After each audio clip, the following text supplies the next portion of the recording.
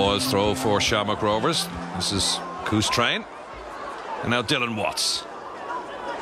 Watts chips it towards the back post. Dan Carr is there across the area. Ronan Finn. Oh, what a stop on the line. Brilliant by Aaron Barry. It's gone back to Watts. And here's Greene. Oh, he heads it wide. What an opportunity that was for Ronan Finn. Ball out to Dan Carr on that far side.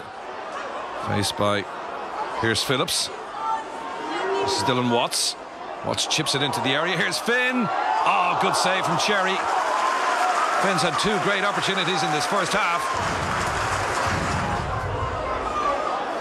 And it was near side to Sean Kavanagh from Lee Grace. Kavanagh with the clearance.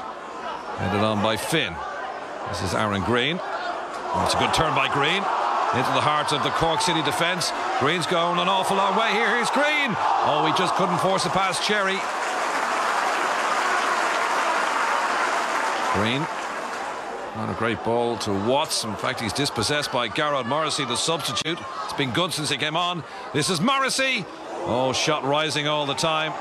Good effort from Morrissey. Into injury time. Roll back to Kavanagh. Kavanagh tees it up. Kavanagh! And Cherry produces a fine one-handed save to keep it at nil-nil.